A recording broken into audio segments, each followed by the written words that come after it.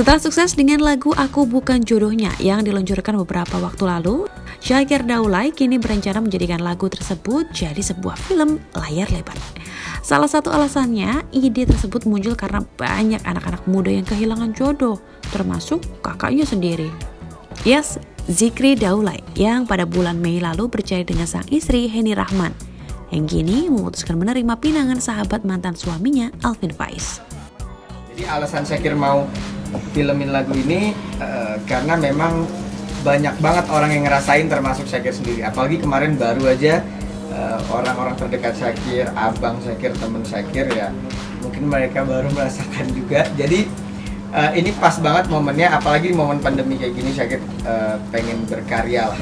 Karena Syakir lihat uh, apa ya film-film anak muda uh, Syakir nggak salahin mereka gitu.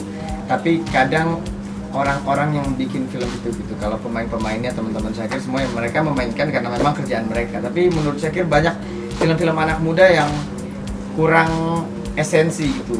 Mungkin lebih banyak sensasinya gitu ya. Syakir Daulay juga tidak menampik jika ide untuk membuat film yang diadaptasi dari lagunya itu bertepatan dengan momen yang sedang dialami sang kakak.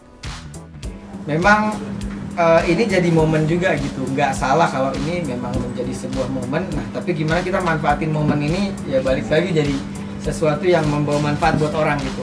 Mungkin kalau cuman sensasi-sensasi kan ya kita memang perlu dalam sebuah kreasi itu sensasi tapi jangan kebanyakan sensasinya gitu. Makanya saya kira arahin tuh sensasi yang kemarin buat jadi sebuah kreasi gitu. Jadi ya emang udah jalannya Allah. Kemarin tuh emang ketika pengen ngeluarin tuh bingung. Aduh udah bikin gimmick nikah mulu kan? Masa nikah lagi gitu? Bilang aduh nggak mungkin nih orang nggak ada ngamuk nih. Udah kemarin kenceng banget kan? Aduh gue harus harus ngeluarin uh, apa namanya promosi apa lagi nih? Udah gue doa aja deh. Ya Allah kasih momen kayak gitu kan. Satu eh dikasih momen. Udah gue hajar di situ untuk menggarap film perdana yang akan diproduksinya ini, Syakir mengaku sudah melakukan konsultasi dengan para pegiat film senior seperti Deddy Miswar dan tokoh perfilman lainnya. Wah, penasaran siapa yang bakal main film Aku Bukan Jodohnya? Nantikan ya.